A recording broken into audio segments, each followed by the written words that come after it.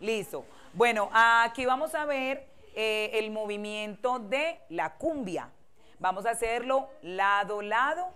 Un, dos, tres, cuatro. O también lo podemos hacer en forma de círculo. Un, dos, tres, cuatro. Resulta que la cumbia se baila de dos formas. Como tenemos tanta diversidad dentro de la misma región costera, en algunas partes se baila en forma de círculo, moviendo la cintura y cadera, un, dos, tres, cuatro, y en otras partes de la costa se baila moviéndola de un lado al otro, un, dos, tres, cuatro. Para que observemos mejor el movimiento, te vas a hacer de espalda, por favor, Mabeli, y vamos a observar. Nuevamente en forma de círculo, la cadera, un, dos, tres, cuatro, y ahora lado, lado, un, dos, tres, cuatro. ¿Sí ven la diferencia? Medellín, todos por la vida.